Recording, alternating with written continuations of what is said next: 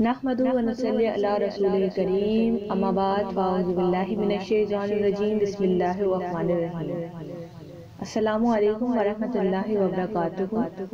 قرآن و دین چینل میں آپ سب کو بہت بہت خوش آمدید. آج کی اس ویڈیو میں آپ کو میں بتاؤں گی کہ ہر مشکل کو آسان کیسے بنائیں۔ یعنی کہ آپ جب کوئی کام شروع کرتے ہیں تو اس میں رکاوٹیں آتی ہیں۔ ہر کوئی کہتا ہے کہ میں جو بھی کام شروع کرنا چاہوں اس میں رکاوٹیں آتی ہیں۔ اپنے آپ کو منوس کہنا یا اپنے آپ کو لان تان کرنا بہت ہی غلط بات ہے نیگیٹو سوچ رکھنا تو بہت ہی زیادہ غلط بات ہے کیونکہ جب ہم نیگیٹو سوچ رکھتے ہیں تو آنے والے فیوچر میں جو آپ نے برا سوچا ہے وہ ضرور سچ ہو جاتا ہے تو جتنا ہو سکے پازیٹیو سوچا کریں اور جو بھی کام شروع کریں اللہ کا نام لے کر شروع کرا کریں اور اللہ تعالیٰ کی رضا جس کام میں ہو جائے تو پھر وہ کام ضرور ہوتا ہے۔ تو میں ایک وظیفہ آپ کو بتاتی چلوں کہ آپ یہ وظیفہ ساتھ میں ضرور کرا کریں۔ دن میں روزانہ آپ نے یا پھر رات کو سوتے وقت گیارہ سو مرتبہ اللہ کا اللہ پاک کا یہ نام ہے یا فتح ہو۔ گیارہ سو مرتبہ یا فتح ہو آپ نے پڑھنا ہے۔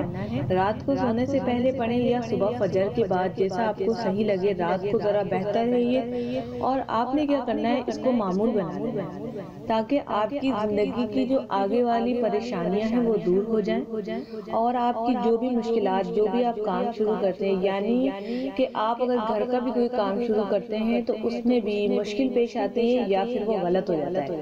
تو ایسے شخص کے لیے یہ وظیفہ بہت ہی اچھا ہے جو بھی اس کے دل میں سیاہی ہے یا پھر آنے والی رکاوٹیں جو شیطان پیدا کر رہا ہے یا فتاحوں کی برکت سے وہ دور ہو جائیں گے اور اس کا کام میں آسانی پیدا ہو جائے گی تو ہر مشکل کام کو آسان بنانے کے لیے یہ وظیفہ آپ لازمی کریں انشاءاللہ تعالی اللہ پاک سے میں دعا کرتی ہوں اور آپ سب بھی دعا کیجیے کہ جو جو یہ وظیفہ کرے اللہ پاک اس کی ہر مشکل کو آسان فرمائے۔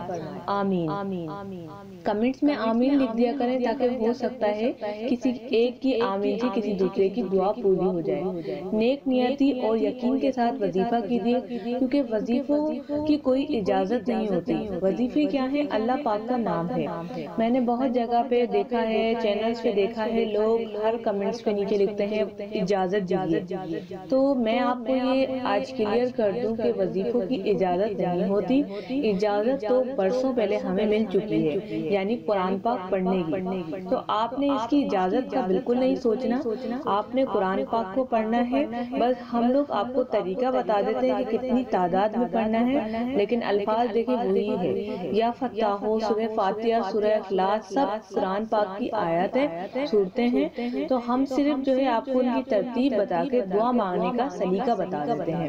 اور اس میں کوئی بھی بڑی بات نہیں تو آپ نے بالکل پریشان نہیں ہونا اجازت کی ضرورت نہیں ہے۔ دعاؤں میں یاد رکھیے گا سب کو۔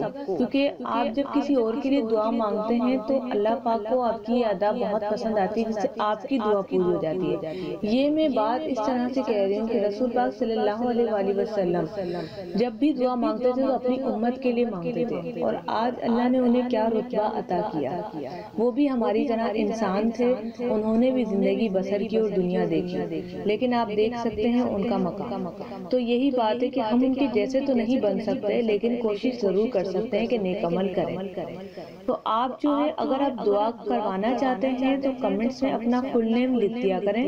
انشاءاللہ تعالی میں آپ لوگوں کا کوشش کروں گی کہ ویڈیو میں ہی نام لوں۔ اگر وہ ممکن نہ ہو سکا تو ضرور آپ لوگوں کے لیے نام لے کر دعا کروں گی۔ تو کمنٹس پہ نام لکھ دیا کریں تاکہ میرے ذہن نشین ہو جائے۔ چینل کو سبسکرائب کر دیں تاکہ آنے والی آپ کو تمام ویڈیوز مل سکے انشاءاللہ تعالی کل ایک اور نئی وظیفے کے ساتھ پھر حاضر ہوں گی۔ قرآن و دین چینل کو اجازت دیجیے۔ السلام علیکم ورحمۃ اللہ